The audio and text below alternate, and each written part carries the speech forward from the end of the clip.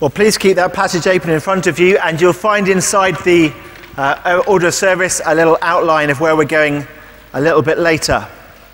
I wonder what you make of this incident in the life of Jesus that we've just heard read. For me, it was always one of the slightly puzzling bits of the gospel. Uh, the kind of demon that is a bit harder to exorcise than the other kind. So it's as if you have you know, your GCSE level exorcism, and the, the disciples have graduated to do that. They can now handle normal demons, no problem. But here's an extra difficult one, and they fail. And it turns out, verse 29, this kind cannot be driven out by anything but prayer. They've come up against an A level standard exorcism, and they're not yet at that standard. Um, what, what's it about these different levels of demons? Are we supposed to understand more about that? And there's endless speculation possible in that direction. On the other hand, here's a passage that would be ripe for the uh, internet televangelist prosperity preacher.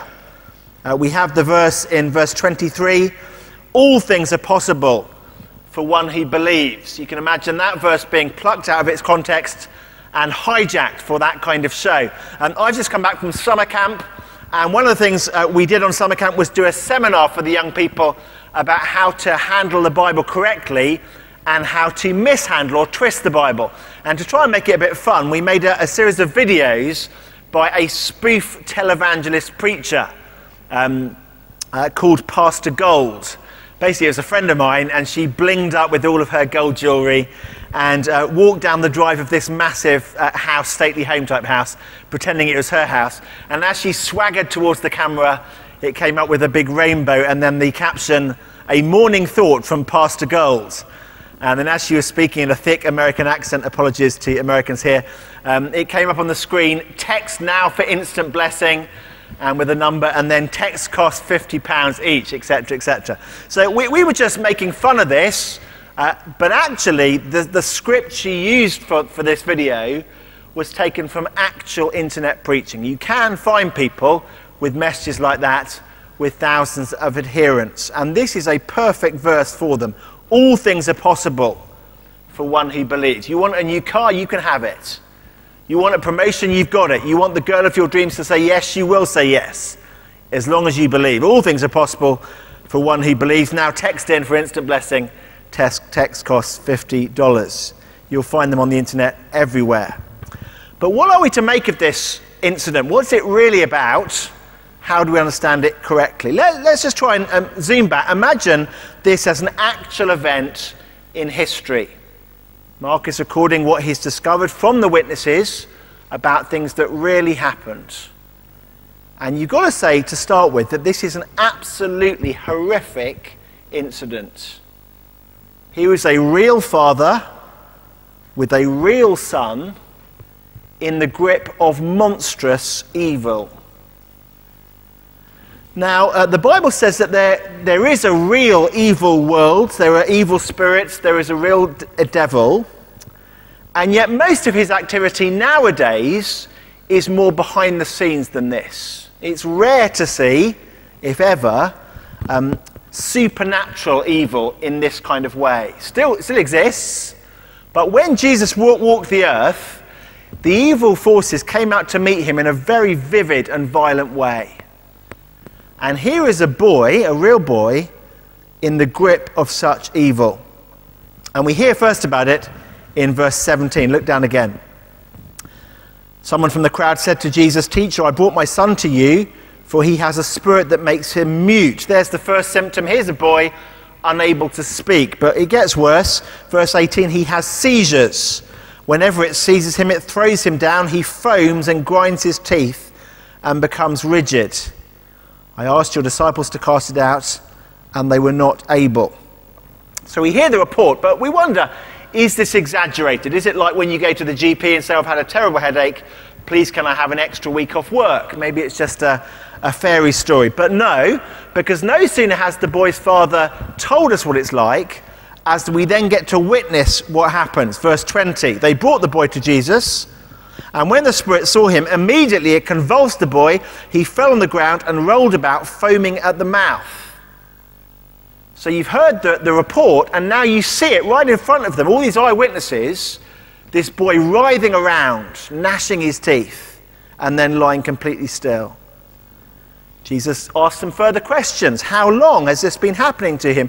They said, From childhood. Verse 22 It has often cast him into fire and into water to destroy him. This is a horrific experience for this family. Maybe you saw in the news the terrible tragedy on Camber Sands, that beach where those five youths were all drowned last week. A horrific story. I couldn't read it in the Evening Standard without my um, stomach turning. Of course, they show the pictures of all the boys happy at school and then tell you in some detail about how the crowd saw the bodies bobbing until they realized that it was actually human beings who just drowned. It was horrific. But no beach holidays for this family. It's not as if they just you know, swam out too far and got caught in a sandbank. Here's a boy possessed of an evil spirit that hurls him into the water, intent on drowning him. Uh, on our camp, we had a rule that you could only swim between the two flags, indicating the lifeguard um, guarded area of the pool. And we had a ring of leaders in the water around the teenagers. But here's a boy that if dad turns his face away just for a second, he's hurtling towards the sea, intent on drowning himself. No open fires for this family in the winter to warm yourself. Because here's a boy possessed of a spirit intent on hurling himself into the fire to burn himself. Can you even imagine what family life was like for this family? It is a horrific scene in the grip of real evil, seen naked, if you like, full blown evil. Uh, this boy is in the grip of it. But the one thing that's worse than uh, realizing that there's real evil in the world is realizing that people are not able to cope with it. It is beyond human help. The man says, I, I asked your disciples to cast it out, and they were not able to. You get that again and again in, in Mark's Gospel. These encounters with evil that is beyond human ability to restrain it. In chapter 5, we meet a man possessed with 2,000 evil spirits, and the local villagers try to restrain him with iron shackles. But with superhuman strength, he just rips the shackles apart. No one can restrain him. Here is evil, and it's beyond human power to deal with it. But Jesus can deal with it. They bring him to Jesus.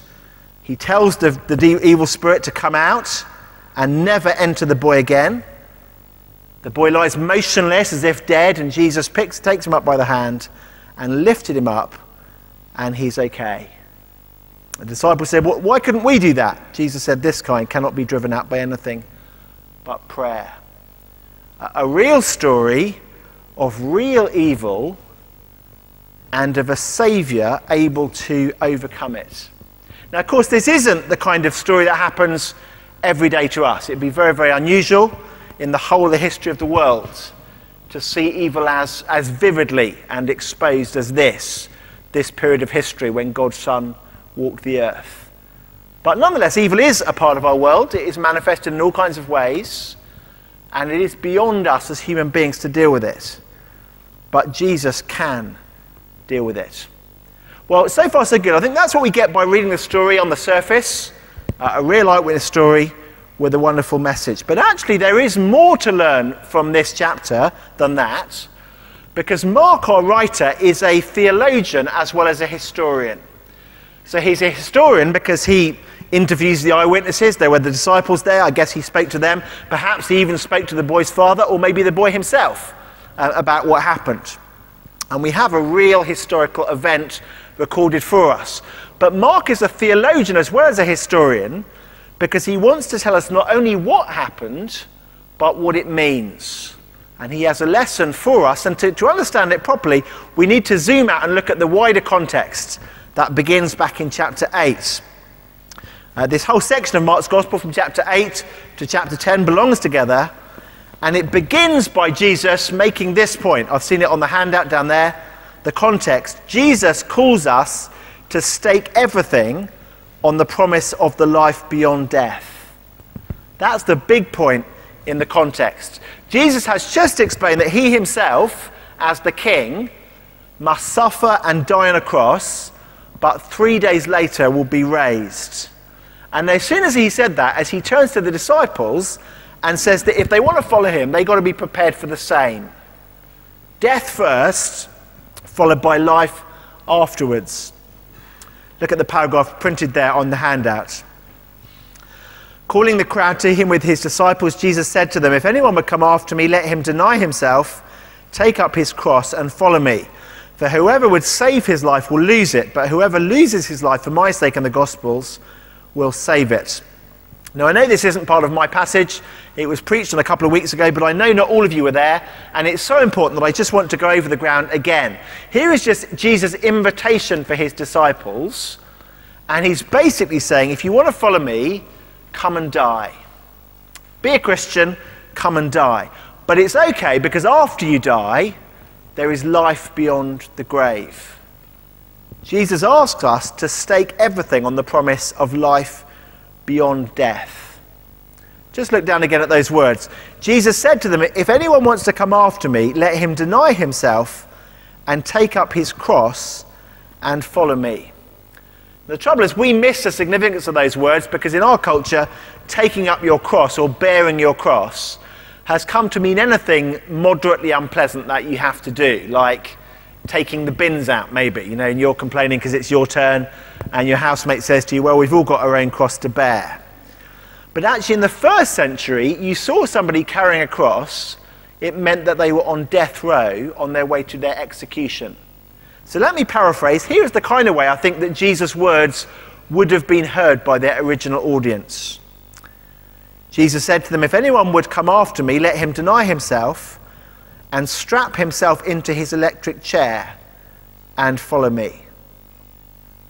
Or if anyone would come after me, let him deny himself, fasten the noose around his neck, and get ready to be pushed off the platform and follow me. That's the kind of connotation for the first hearers of these words. Jesus saying, uh, Come and follow me, come and die.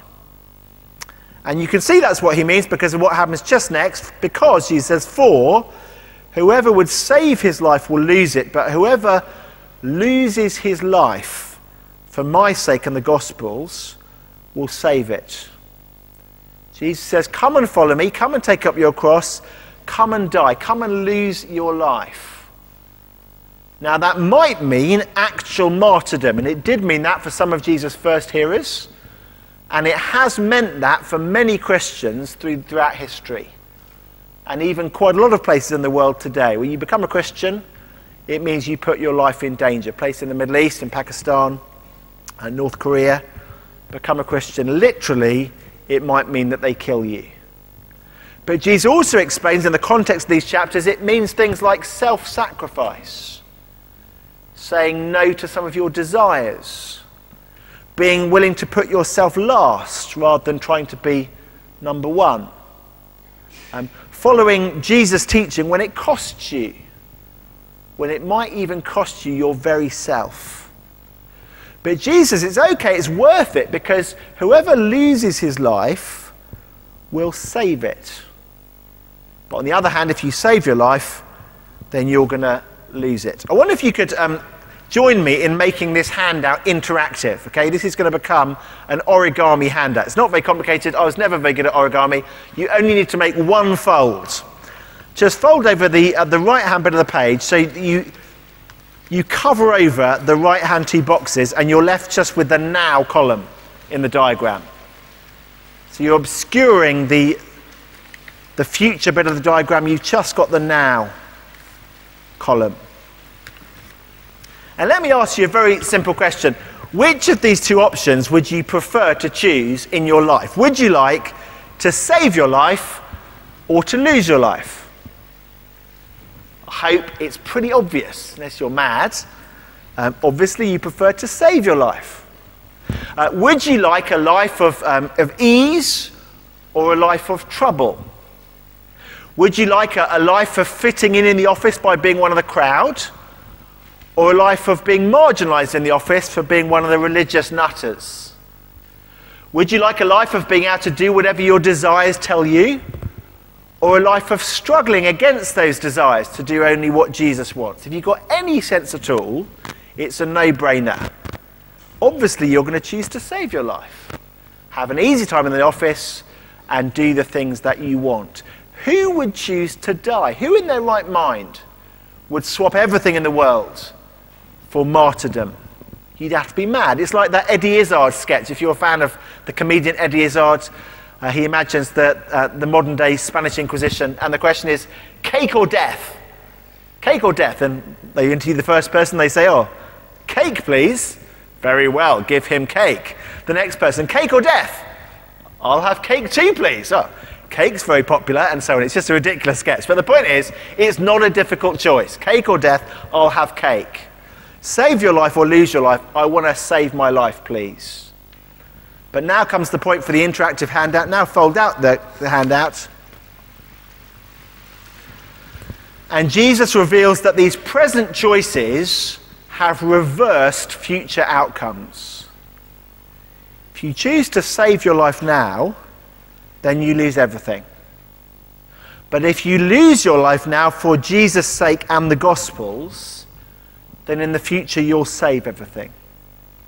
In fact, even if you're martyred, even if you die, that's okay. Because Jesus promises that after dying, you'll be raised again. Now, do you see then that the, the choices of a, a rational person depend entirely on whether they believe in the right hand side of the diagram? If you only believe in life here and now, you would be mad to follow Jesus on these terms. But if there really is a future where those who save their life will lose it and those who lose their life will save it, then you'd be mad not to follow Jesus and to give up your life to follow him. But the question is, how sure can we be about the right hand side of the diagram, right? If we're, if we're asked to gamble our entire life and all of our choices on that, we've got to be really sure about it. And we can be sure. And Mark has arranged his gospel so that these chapters, chapters 8 to 10, are full of reasons to be really confident that Jesus is right about the future. This promise of life beyond death is real. And even this incident with the boy, when we look closer, we're going to see it speaks into this context. Here is a man in the grip of evil, terrible evil, but Jesus can overcome it. But notice the exact vocabulary that Mark uses to describe what happens. So, firstly, Jesus orders the spirit out of the boy and it comes out of him. Verse 26 After crying out and convulsing him terribly, it came out, and the boy was like a corpse so that most of them said, He's dead. But Jesus took him by the hand and lifted him up, and he arose. Do you notice the vocabulary? He, he could have said simply, uh, the, the demon left the boy and he sort of lay on the ground motionless. And then Jesus revived him or healed him. But instead, Mark uses the vocabulary, it was as if he was dead. He was like he was a corpse. In fact, people even thought that he was dead. And then Jesus took him by the hand and literally resurrected him. It's the same verb used for the resurrection. He raised him up. So Mark describes the exorcism like a resurrection. As if to say, here is the kind of evidence that you're looking for. Um, I've asked you to, to make a, a big life decision based on the promise I can raise the dead but I'll show you that I can. In fact, there's lots of demonstrations like this in Mark's Gospel all the way through. Back in chapter 4, Jesus raises a girl from the dead. Here in chapter 9, Jesus raises a boy who is at least as if dead from uh, his corpse like state.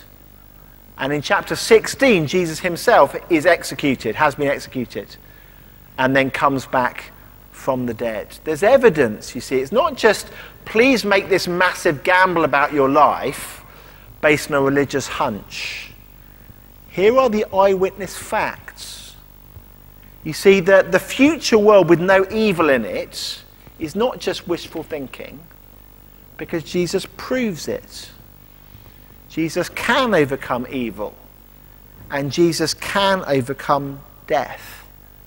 And here it is in eyewitness history for us to see. So, given this choice of um, do I deny myself in the hope of a life forever with Jesus, or do I live it up and then lose everything? It ought to be pretty easy to trust Him. And yet, here's our third point the response. Nonetheless, we find it difficult to trust Jesus. We, we ought to trust Him. There's plenty of evidence there to help us to trust Him. But we just find it difficult to trust Him. And I wonder if you notice that's another thread that runs all the way through this passage this language of belief and unbelief, of trusting and doubting. And I wonder if you notice that Jesus actually is quite exasperated with people. He's quite stern with people.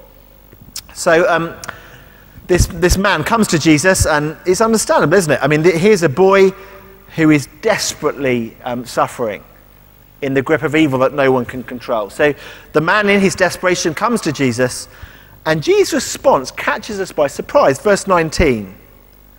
O faithless generation, how long am I to be with you? How long am I to bear with you? It's unexpected, isn't it? Jesus gives him quite a telling off. Or actually, he's not just talking to the man, he's talking to the whole crowd. Oh, for goodness sake, Jesus says, how slow you are to trust me. Jesus is almost a bit exasperated about them. And then uh, the, um, the man explains a bit more what's happened, and he says, Look, if you can do anything, have compassion on us and, and help us. And again, verse 23, Jesus seems quite cross. If you can, of course I can.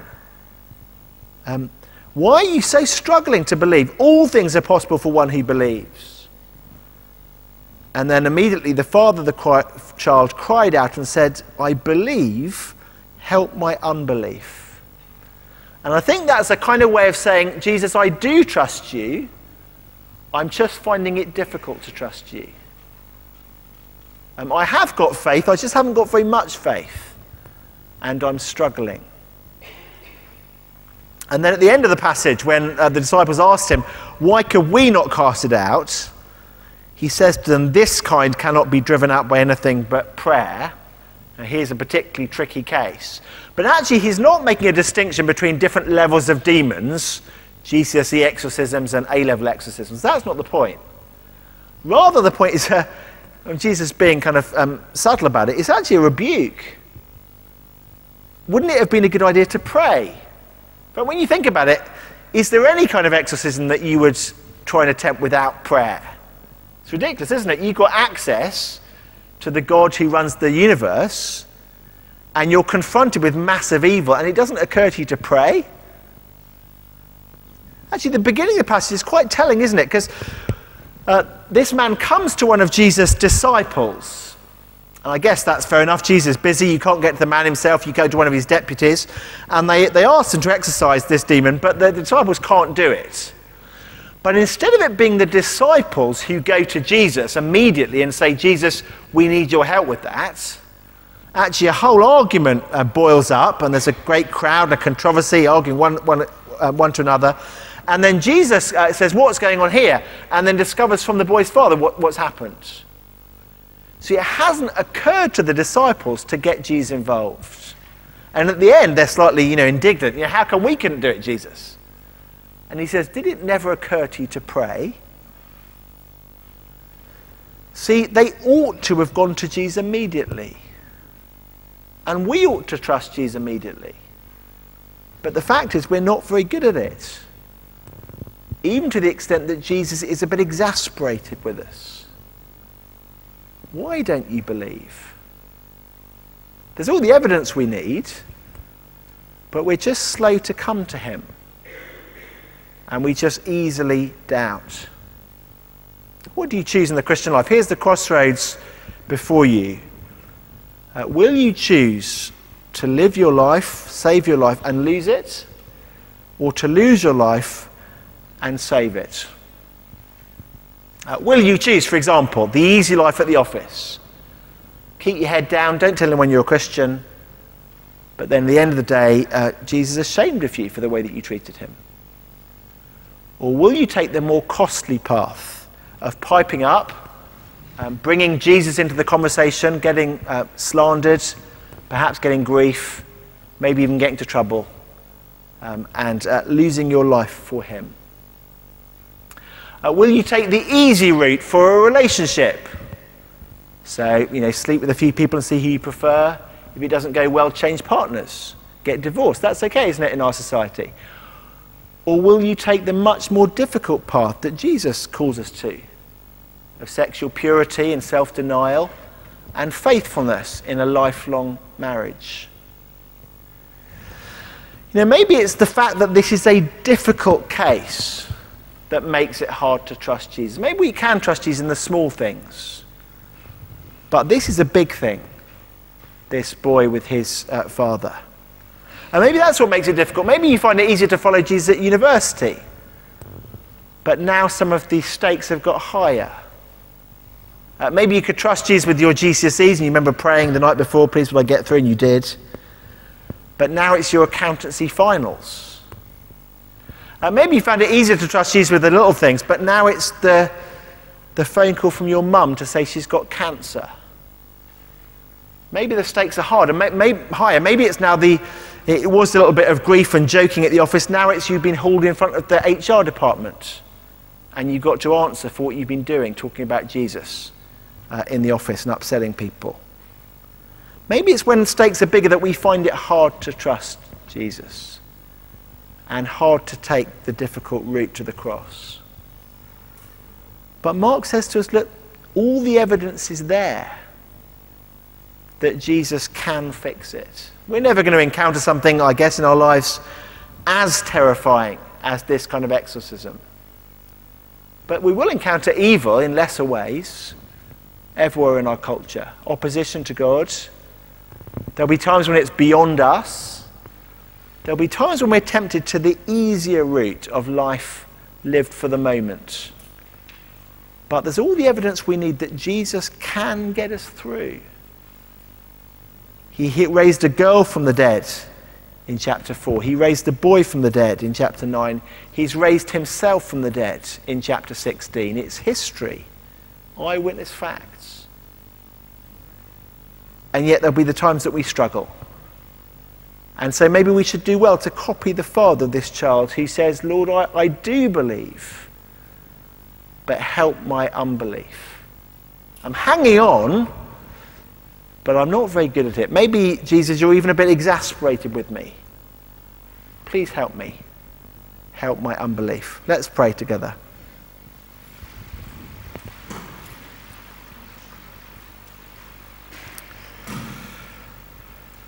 All things are possible for one who believes. Heavenly Father, we know that you don't mean that we are to immediately experience a life of ease um, and prosperity and riches, but rather you called us to a life of self sacrifice and perhaps even martyrdom, self denial.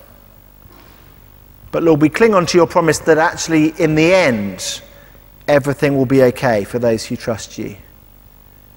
Thank you for your promise that all the things we lose because of following Jesus, we gain in the future. And thank you that this is not just an empty, wishful thinking promise, but actually there is historical precedent to prove that Jesus can deliver on it. Thank you for the, those that he raised from death and the promise that he will raise us in the last day from death. And Lord, as we struggle to trust you, uh, we struggle to live as though the right hand side of this diagram was real and to make the decisions accordingly. We pray, Lord, that you would help us in our unbelief, strengthen our faith for Jesus' sake. Amen.